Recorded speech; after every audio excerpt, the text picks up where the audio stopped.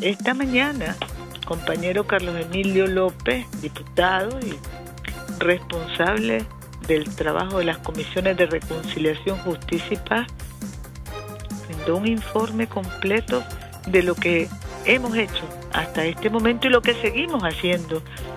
Son 879 comisiones de reconciliación, justicia y paz las que están instaladas en todo el país hasta el día de hoy.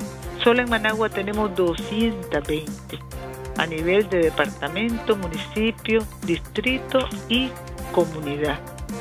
Porque así es como estamos trabajando en todo el país, con absoluta confianza en Dios, a nivel del departamento, a nivel de la región, del municipio y de la comunidad.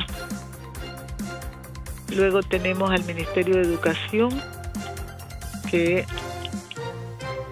trabaja con los educadores para conmemorar el Día del Maestro, el 29 de este mes, una jornada especial que estamos programando y desarrollando para reconocer el valor de cada maestro y maestra en nuestro país y reconocerlo como promotores de amor, de entendimiento, de enseñanza con calidad, desde el amor, el entendimiento y la reconciliación que gracias a Dios prevalece en nuestra Nicaragua.